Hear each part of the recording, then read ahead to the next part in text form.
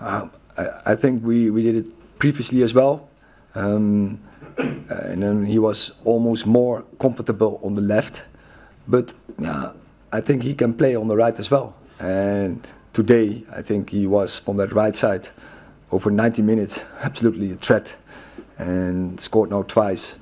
Uh, but I think the whole front line played very good, and they invested so lot in runs behind, and uh, the timings uh, were so good. And yeah, I think it was continually a threat for the opponent.